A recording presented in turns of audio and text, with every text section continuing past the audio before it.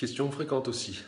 En effet, les stages euh, sur sont ouverts à tous les postes. Gardien, joueur de champ, pivot, ailier, arrière, tout le monde. Euh, il y a du travail collectif, du travail individuel pour tout le monde, pour tous les postes. Et c'est vrai que depuis peu, on propose aussi une option spéciale gardien. Ce qui ne veut pas dire que le stage est réservé aux gardiens. C'est simplement dire que pendant le stage, euh, les gardiens vont avoir des entraînements plus individualisés où ils vont travailler entre eux. C'est un peu plus pratique que travailler avec les joueurs. Ça permet également de renforcer le travail sur les autres postes. Comme ça, chacun travaille à fond sur son poste.